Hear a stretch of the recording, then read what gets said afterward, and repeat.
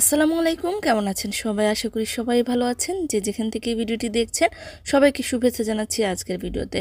প্রথমেই জানিয়ে দিব, প্রবাসী সংক্রান্ত কিছু আপডেট। এক হারিয়ে যাওয়া প্রবাসীর সন্ধান মিলল।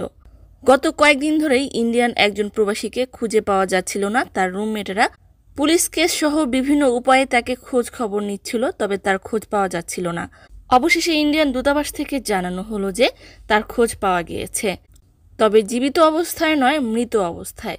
গত জানুয়ারির দশ তারিখে সালমিয়াতে একটি সড়ক দুর্ঘটনা ঘটে, যেখানে বলা হয়েছিল চারজন প্রবাসীর মৃত্যু হয়েছিল। সেখানেই এই ইন্ডিয়ান প্রবাসীর মৃত্যু হয়।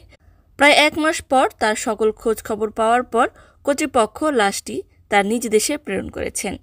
এদিকে প্রায় ছয় দিন ধরে নিখোঁজ রয়েছেন মুস্তফা কামাল নামে একজন বাংলাদেশি প্রবাসী। আল্লাহ পাক সকলের সহায় হন। অপরদিকে একটি স্থানীয় আবেদনীকে প্রকাশ করে বলা হয়েছে যে দীর্ঘদিন আগে কুয়েত, ইরাক যুদ্ধের সময় মরুভূমিতে পুঁতে রাখা মাইন বিস্ফোরণে প্রাণ গিয়েছে আরও একজন কুয়েত প্রবাসীর। ইনারিল্লাহি ওয়াইনাইলাহি রাজিউন। বার আল আবরাক মরুভূমিতে দুম্বা চড়ানোর সময় ল্যান্ডমাইন বিস্ফোরণে গুরুতর আহত হয়ে এই প্রবাসী যাহারা হাসপাতালে ভর্তি ছিলেন। আজকে তিনি মৃত্যুবরণ করেছেন। এদিকে সিকিউরিটি ফোর্স বিশেষ অভিযানে আইন লঙ্ঘনকারী উনিশ জন ব্যক্তিকে গ্রেফতার করতে সক্ষম হয়েছে।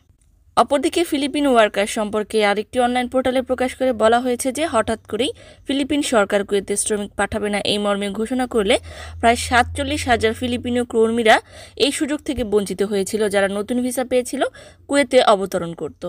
এ বিষয়ে ফিলিপিন সরকার থেকে একটি রিপোর্ট পেশ করে বলা হয়েছে যে দুই হাজার বাইশ সাল পর্যন্ত ফিলিপিনো নারী এবং পুরুষদের উপর প্রায় চব্বিশ হাজার কেস রয়েছে যারা কুয়েতে নির্যাতিত হয়েছিল। সেই প্রতিবাদেই আসলে এমন সিদ্ধান্ত নেওয়া হয়েছে। এদিকে ভয়াবহ ভূমিকম্পে তুরস্ক এবং সিরিয়াতে পাঁচ দিনে প্রায় তেত্রিশ হাজার মৃত্যুর খবর পাওয়া গিয়েছে। উদ্ধার কাজ চলছে, তবে এখনও জীবিত প্রাণের সন্ধান পাওয়া যাচ্ছে। একটু আগেও একজন ছেলে এবং একজন মেয়েকে জীবিত উদ্ধার করা গিয়েছে।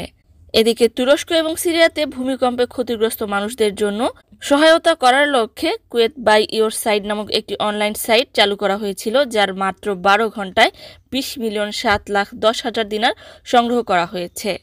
একজন বিশিষ্ট আলোচিত এমপি তার ফেব্রুয়ারি মাসের সমস্ত বেতন তুর্কি এবং সিরিয়াতে ক্ষতিগ্রস্তদের জন্য দান করে দিয়েছেন।